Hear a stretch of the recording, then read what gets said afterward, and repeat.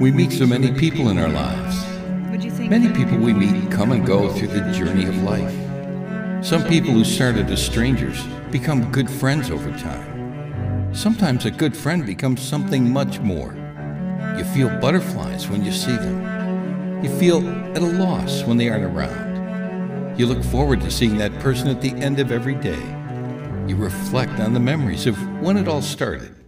When you went to the theater to watch Swiss Army Man when you traveled to Victoria and explored the beautiful city together.